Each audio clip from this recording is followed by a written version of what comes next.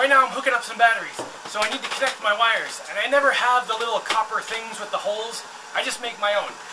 So let me first stick my wire in some Vaseline so it doesn't get corrosion. And then I take a little piece of copper pipe and you know, stick it on there. Now just as a disclaimer, don't ever do this, because if you burn your house down, it probably has nothing to do with this, but I don't want to get in trouble for it.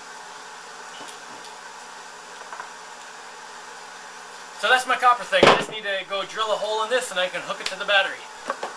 Oh, this drill bit is so dull.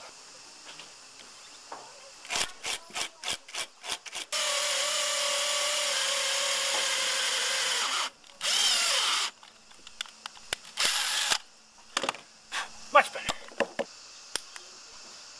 Ah, some good looking stuff.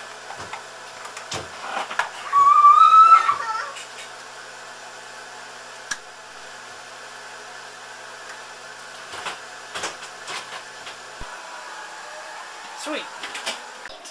Haha! Ho ho! Ooh, that's some good looking stuff. Sweet!